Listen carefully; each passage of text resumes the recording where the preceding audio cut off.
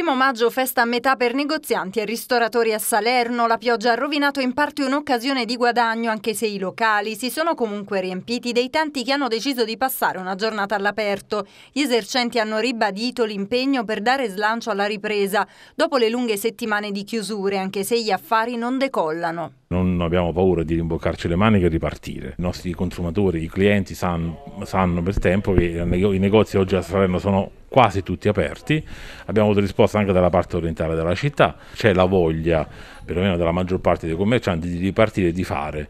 È un messaggio sicuramente di apertura, eh, di rivendicazione del diritto al lavoro. Eh, vogliamo riempire questo primo maggio di un messaggio, eh, tra virgolette, di protesta. Non vogliamo più sottostare nei prossimi mesi, qualora dovesse esserci ancora queste zone rosse, a pagare un prezzo troppo caro in troppo pochi. In altri tempi questo era un ponte di lavoro, di movimento, di scambi di regioni, cose che in questo momento mancano veramente, si sente la mancanza proprio del turista.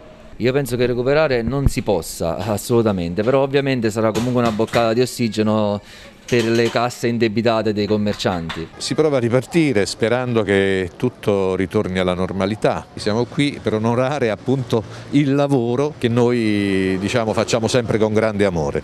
Il clima incerto ha scoraggiato però le gite in spiaggia, quasi del tutto vuoti i litorali, poche le persone che si sono avventurate sul lungomare a Santa Teresa.